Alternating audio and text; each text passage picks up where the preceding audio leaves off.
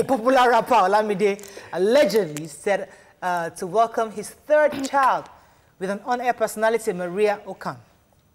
According to reports, Maria discovered that she was one month pregnant for Olamide and requested for the money to terminate the pregnancy. However, she decided to keep the pregnancy. Adults that are getting intimate, I believe should, if you don't want any form of pregnancy should get use protection. Mm -hmm. Now you go ahead and have your fun and you're not using protection. Of course, something could happen.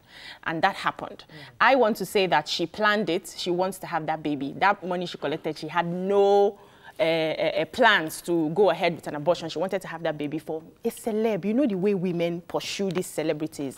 And the fact that she knows that he has a fiance, mm. fiance already who's equally pregnant, she wants to have her own child.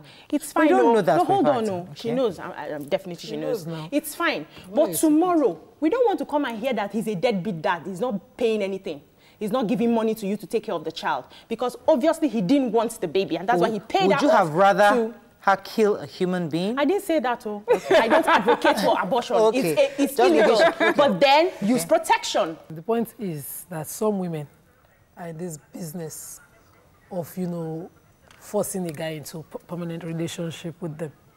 So some women, I grew up finding girls who just say, but you phone, you will take your baby. So just get pregnant. So you tie him down mm -hmm. with pregnancy. Because those days used to carry shotgun to their house and say, now you get the belly, now you, oh yeah, carry, now marry.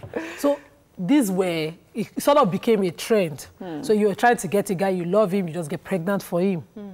I think that is where we are, the deceit. Hmm. And what women do, this business of it that they do.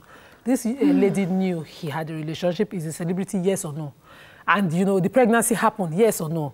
Still you went further in another deceit got money from him telling him you do something separate. So this guy certainly didn't want ties with him. Oh, if she want yeah. if he wanted to be tied to her he would have said keep my baby. Mm -hmm. but, but she asked for two million he gave her two million. The egg and the baby and the, it is that person's right the person reserves the right to, to do have whatever it or mm. not have, have it. it. Okay. But you know, hold on, hold on, hold okay. on. And then when the thing, the comes baby out, comes now out. comes, comes out, out. that's another partnership, which could have been marriage, a relationship, and it's a compromise, okay. whatever. But also, we have had people who do not um, you know, take that part of the contract and they decide to run away from their responsibility. responsibility. And then we have some people who decide, yes, I have this, this thing came out of me, but I do not want you involved. Yeah. Anything can happen in the future. We've heard of instances where these things happen and then people got together yes. and they got married and you know. But, but he has a fiance. Fiance. Fiance.